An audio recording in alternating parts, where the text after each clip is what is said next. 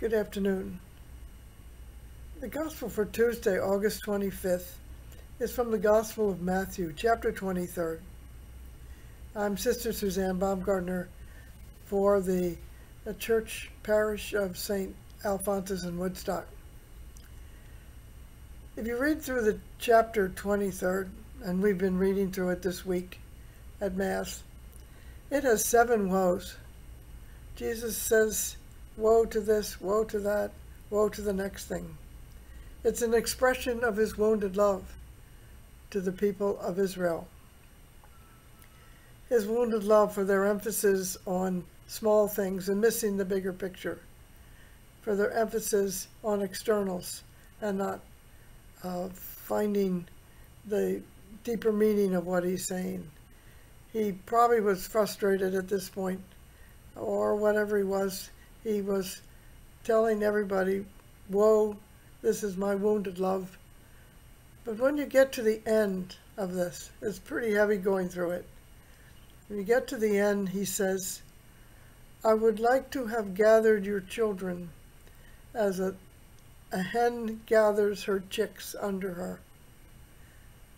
So he's really talking about how he wants to gather the people of Israel in a love embrace how he wants to gather all of us in this embrace of love.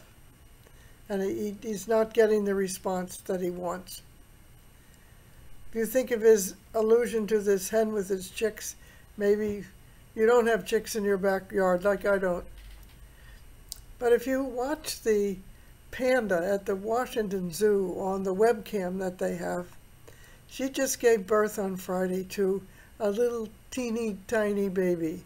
It's about the size of a stick of butter. And her care, her attentiveness as she takes care of it, how she nurses it, as she holds it, as it seeks her. It's an expression to us. We can learn from this panda of a simile for God's love as he yearns for us, he yearns to hold us. Take this time today or sometime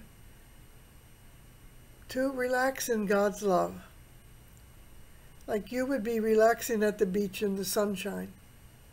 Let it pour over you, fill you, warm you. God loves you very much. If you look at those seven woes, you might say, yes, that's me, that's me, yes, that one's me. But Jesus is longing to gather you as a hen gathers its chicks. Rest in that. Live in that. Live each day in that. Glory be to the Father, and to the Son, and to the Holy Spirit, as it was in the beginning, is now, and ever shall be, world without end. Amen.